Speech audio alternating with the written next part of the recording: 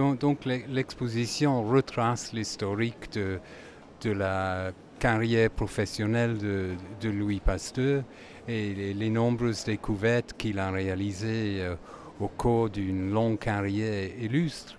Et ce qui m'a beaucoup impressionné dans, son parcours scientifique, disons, c'est le fait qu'il ait euh, non seulement identifié des projets intéressants et importants, mais il a souvent changé de sujet.